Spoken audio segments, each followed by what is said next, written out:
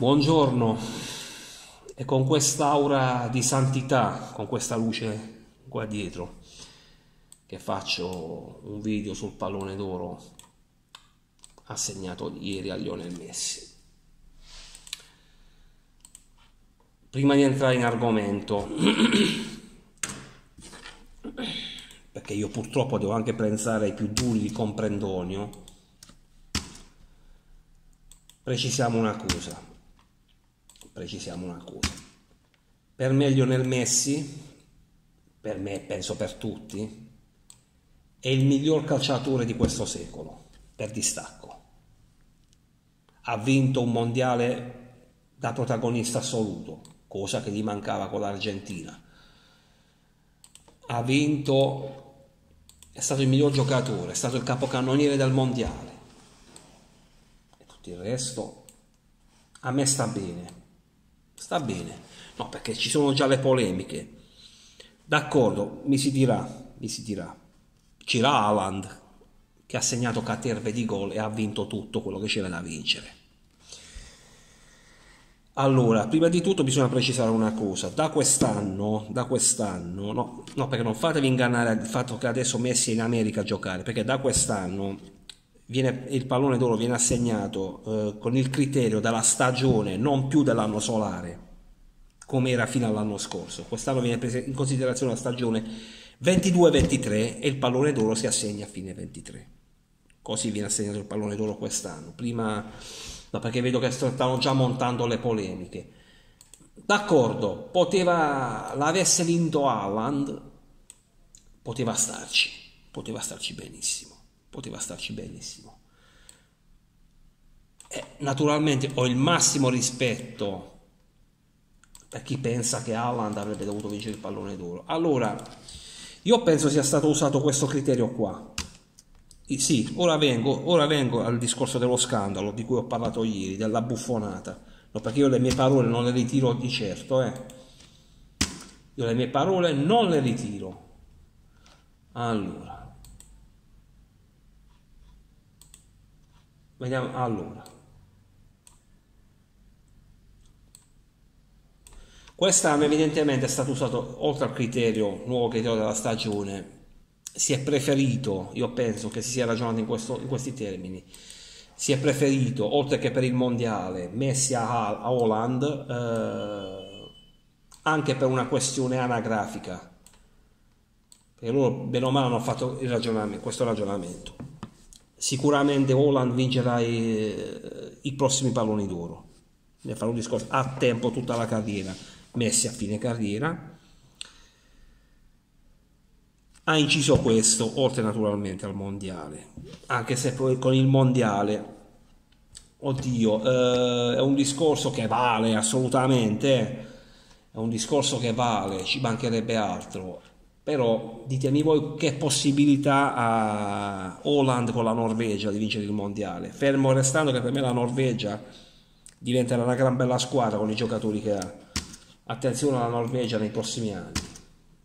Perché... Ma torniamo a Messi. Torniamo a Messi.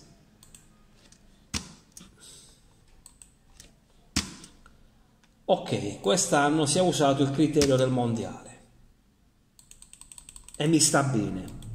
C'è la polemica, d'accordo, ma se vogliamo non, non è neanche il pallone d'oro più scandaloso che ha vinto, perché quest'anno potrebbe anche starci. Quindi... Ma se conta il mondiale, se per me si è contato il mondiale, quest'anno, giusto? Perché lo stesso criterio non ha contato nel 2010 e nel 2012, anno dell'europeo. Sto parlando di André Siniesta, di Xavi, e quella meravigliosa nazionale spagnola.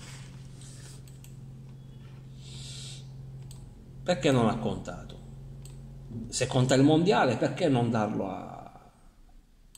Cioè, si è dato il pallone d'oro a Summer per la vittoria dell'europeo e non si è dato a Del Piero che aveva vinto la Champions League. Perché non è valso lo stesso criterio nel 2012 per Iniesta? Perché? che ha vinto un europeo da dominatore. Stessa cosa per il 2010, perché non è valso questo criterio, invece mentre che per Messi è valso?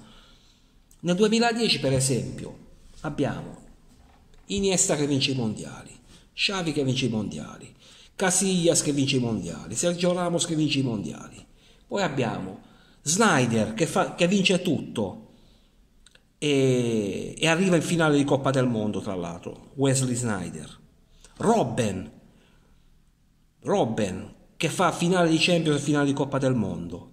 Ma soprattutto, io il pallone d'oro 2010, a parte Milito che fu strepitoso, Diciamo che forse Milito pagò il deludente mondiale con l'Argentina che prese quattro pere dalla Germania in quel quarto di finale. Vabbè. Uh, ma soprattutto io il 2010, parere mio personale, secondo me il pallone del 2010, sapete a chi l'avrei dato io? A Samuele Eto'o Prima non contava la stagione, ma contava l'anno solare. Samuel Eto'o è al secondo triplete consecutivo da protagonista con due squadre diverse. Gioca il mondiale col Camerun, gli unici due gol al Camerun li fa lui.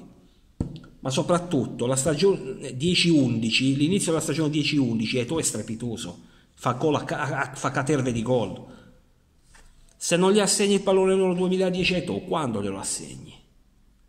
A un giocatore meraviglioso che era Samuel Eto'o. 2012. Benissimo, Iniesta. Ma voi direte, ma la vittoria della nazionale spagnola è più una vittoria di collettivo che di singolo. Mi sta anche bene, mi sta anche bene. Però poi lo dai a Messi, il pallone d'oro 2012, che in Champions fuori col Chelsea, col Chelsea di Di Matteo. In Spagna perde il campionato perché lo vince il Real di Murigno, quell'anno lì. Perché darlo a Messi? Perché darlo a Messi? Non lo so. Quando glielo dai a Iniesta il pallone d'oro, se non nel 2012, con quell'europeo là dove lui e Xavi in quella finale ci fecero letteralmente a fette. Ci fecero letteralmente a fette quella finale dell'europeo là. Quando glielo dai se non lo dai nel 2012 il pallone d'oro a Messi? A Iniesta. Un altro pallone d'oro che mi dà molto da pensare è quello del 2019. È quello del 2019 2019 Messi, Van Dyke, Cristiano Ronaldo.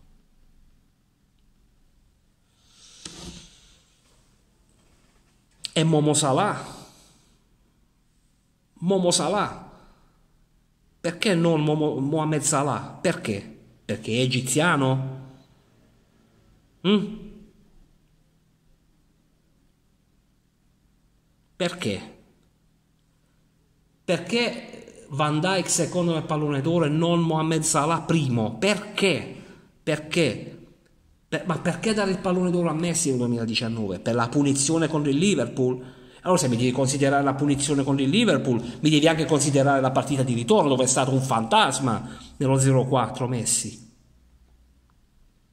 Ovvia, eh, cosa vi ha chiamato? Mi hanno chiamato Adani e Trevisani, mi hanno chiamato che fecero la telecronaca di, di quel Barça Liverpool 3-0. No, non ci sto. Ribadisco per i più duri il comprendonio, Messi è di gran lunga il miglior calciatore di questo secolo e fra i 5 o 6 migliori della storia. Non il migliore, fra i 5 o 6 migliori della storia, con Pelé, con Di Stefano, con Cruyff, con Maradona.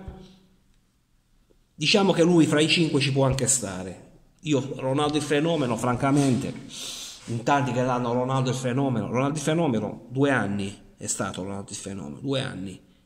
Poi dopo la finale del 98, sì, ha vinto un altro pallone d'oro, ma per 8 gol a porta libera. Nel mondiale 2002, il mondiale più, più, più vergognoso della storia, e non per colpa dei brasiliani, sia chiaro. Anche se, diciamo,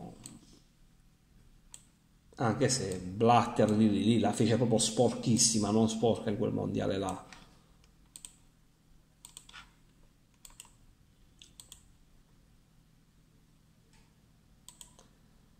Uh, quindi la polemica del pallone d'oro di ieri, che ribadisco si poteva dare benissimo ad Haaland, ma non è uno scandalo che l'abbia vinto Messi per il discorso del mondiale, per la destagionalizzazione, o meglio, per la stagionalizzazione del pallone d'oro, che non, non considera più l'anno solare, quindi non conta, conta da settembre a giugno dell'anno scorso, non più da gennaio a dicembre di quest'anno. Attenzione, non fate confusione. Sono altri i palloni d'oro, scandalosi, dati ammessi, sono altri palloni 2010, 2012 e 2019. 2021 diciamo che va di mezzo la Coppa America, c'è di mezzo la Coppa America. C'è di mezzo la Coppa America e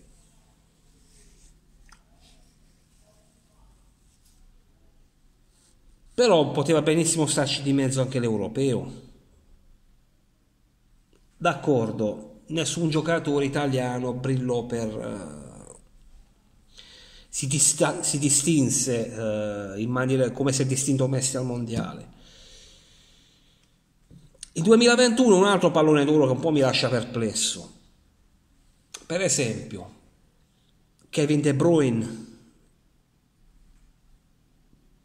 Per me lo meritava più Kevin De Bruyne quell'anno il pallone d'oro. Finale Coppa Campioni, vittoria con il City. E purtroppo in nazionale col Belgio infortunato pure. Harry Kane per me poteva giocarsela 2021 con Messi, Lewandowski, Giorginio Spiegatemi la razza di Lewandowski secondo nel 2021. Spiegatemi la razza di Lewandowski secondo nel 2021 e non Harry Kane, capocannoniere dell'Europeo, e non Kevin De Bruyne. Addirittura mi mettono Giorginio terzo, non Kevin De Bruyne. Lewandowski secondo con Lukaku, con Lukaku che non so quanti, per i gol, ma quanti gol fa Lukaku quella stagione? Campione d'Italia con l'Inter, segna ripetizione agli europei. Quanti gol fa Lukaku quella stagione? Se per i gol, perché non mettere Lukaku in classifica? Boh, misteri gaudiosi. Ma questo è stato, eh, storicamente è stato un premio foriero di polemiche, ho già citato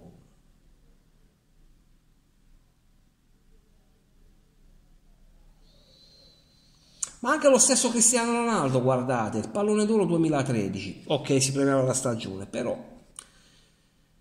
Ribery, Robben che vincono la Champions, perché no?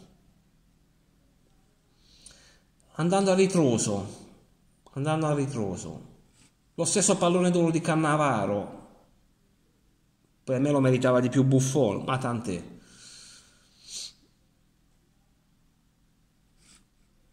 2004 Shevchenko Deco Ronaldinho diciamo che può anche starci. 2003 2002 Ronaldo Roberto Carlos Can. Io l'avrei dato più a Roberto Carlos che a Ronaldo il pallone d'oro 2002 comunque. 2001 2000 Figo. E ci sta perché fece un grandissimo europeo Luis Figo Zidane perse il pallone d'oro per quella, per quella testata, quella testa di cazzo nella partita di Champions con l'Hamburgo, altrimenti sarebbe stato suo. Rivaldo ci sta, Ronaldo 97 ci sta, Summer, e lì quello era di Del Piero neanche fra i primi tre. Un altro, UEA Klinsmann Litmanen 95, quel pallone d'oro io l'avrei dato a Litmanen, fermo restando che UEA fece una grande stagione, ma io l'avrei dato a Litmanen quel pallone d'oro del 95. 94, Stoichkov, Roberto Baggio. Fu dato a Stoichkov per non dare il secondo pallone d'oro a Roberto Baggio, per quel che fece in quel mondiale là.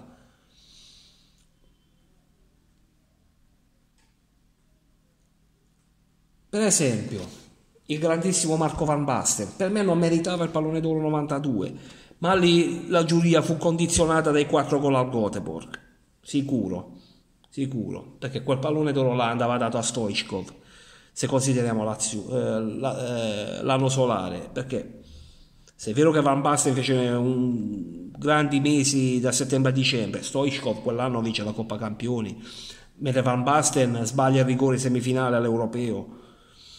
Lì forse Stoichkov nel 94 dettero a Stoichkov quello che forse meritava nel 92 a spese di Baggio, diciamola, diciamola tutta. 91 se vogliamo Papen meritato, Matteus meritato, Van Basten meritato, Van Basten meritato. Ecco, Pallone d'Oro 87 è un altro che a me Gullit lasciate stare la cazzata di, detta da, dai maratonisti non c'entra un cazzo. È un, è, un, è un, falso storico quello di Berlusconi delle televisioni è un falso storico. Gullit per esempio. Sì, inizia bene la stagione col Milan ma nell'anno solare precedente vince solo le divisie io l'avrei dato per esempio più a... Ecco, Futre e Butraghegno, io l'avrei dato più a Butraghegno quell'anno lì. Non lo so. Mm, vabbè. Fermo restando che loro non concorrevano i sudamericani, attenzione. Per esempio, il pallone d'oro 86 a Igor Belanov. Ora ditemi voi, secondo Gary Lineker, terzo Emilio Butraghegno. Allora lì per me era una lotta fra Butraghegno, che fa una grande annata, e Platini. Io veramente... Poi ci sono i tre palloni d'oro di Platini, meritatissimi. Quello di Paolo Rossi, figlio del mondiale. Quello di Rumenig dell'81 e dell'80. I due di Kevin Keegan. Onestamente, 78 e 79. Keegan gioca nell'Hamburgo Ma ho i miei dubbi, ho serissimi dubbi. Sì, è vero, nel 79 vince la Bundesliga Kigan. E ci può anche stare, ma nel 78? Ma... Per esempio 78, Kigan, Krank, Rensenbrink. Questo era di Rensenbrink, questo pallone d'oro, che vince la Coppa delle Coppe. Quindi come vedete l'hanno sempre fatte delle cagate. Oppure il 77, Simonsen, Kiga, questo era di Kigan che vince la, no, che vince la Coppa Campioni quell'anno. Simonsen, Kigan, Platini. Ma onestamente... Poi voglio chiudere questo video sul pallone d'oro. Citando una mamma mia un tweet di Variale su sull'argomento pallone d'oro, non c'entra nulla Messi o... Lui in pratica scrive, esalta l'ottavo posto di Osimen, grande, primo giocatore del Napoli, eh, nei primi dieci, l'ottavo posto, una roba del genere. Per carità di Dio, nulla, nulla da dire su Osimen. Eh. allora poi, ma pur non ve la pigliate, i napoletani sono un po' così eh, che vedono gloria anche nelle piccole cose. Eh, noi barlettani siamo uguali, eh. siamo uguali, siamo uguali noi barlettani. Eh. Uh, no, Variale vanta l'ottavo posto di Osimena. Allora io poi penso 1985, primo Platini, secondo il Chiaer del Verona. Cosa, cosa dovevano fare i veronesi? Osimena ha vinto lo scudetto e il Chiara anche nell'85. Mamma mia ragazzi. Iscrivetevi al canale, presto torno a parlare anche di calcio giocato.